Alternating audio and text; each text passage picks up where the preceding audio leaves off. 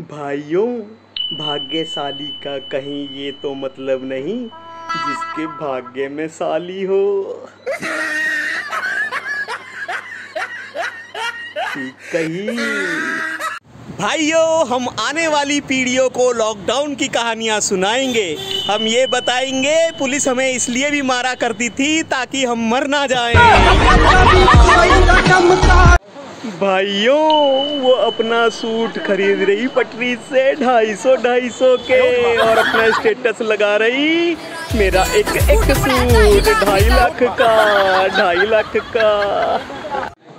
जिनका पति भी बिम्बल मांग के खावे है, वो भी अपना स्टेटस लगा रही हैं। मेरा पति थानेदार चलावे जिप्सी चलावे जिप्सी पुरुष चाहता है कि उसकी स्त्री उसका हाथ पकड़े और वो पकड़ती है उसकी नस और समय समय पर उसे ऐसे दबाती है कि पुरुष बिलबिला जाता है।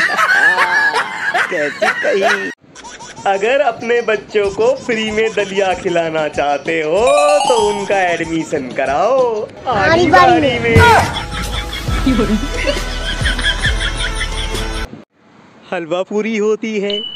खीर पूरी होती है पानी पूरी होती है और तो और भेल पूरी भी होती है। बस केवल मेरी नींद ही पूरी नहीं है। भाइयों सबकी बीवी का एक ही अमृत प्रवचन होता है। ये तो मैं हूँ जो सह रही हूँ और कोई होती तो पता चलता। आज का ज्ञान प्रेमी लोग रात को गाना सुनते सुनते सोते हैं और पति लोग रात को ताना सुनते सुनते सोते हैं।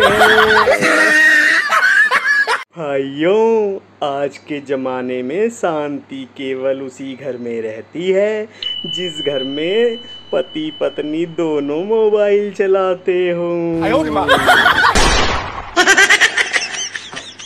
आजकल की लड़कियाँ भी कहर ढा रही हैं। ढाई सौ का सूट पहनकर ढाई लाख का बता रही हैं।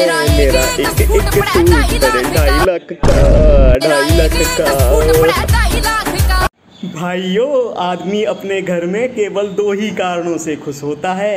एक तो बीवी नहीं हो या बीवी नहीं हो। मुझे एक बात समझ नहीं आती। जब पत्नी को धर्म पत्नी कहते हैं तो साले को धर्मशाला क्यों नहीं कहते? बताओ तो जरा। भाइयों भीषण गर्मी को देखते हुए इंद्रदेव और सूर्यदेव में सुलह हुई और बारिश का आगमन हुआ।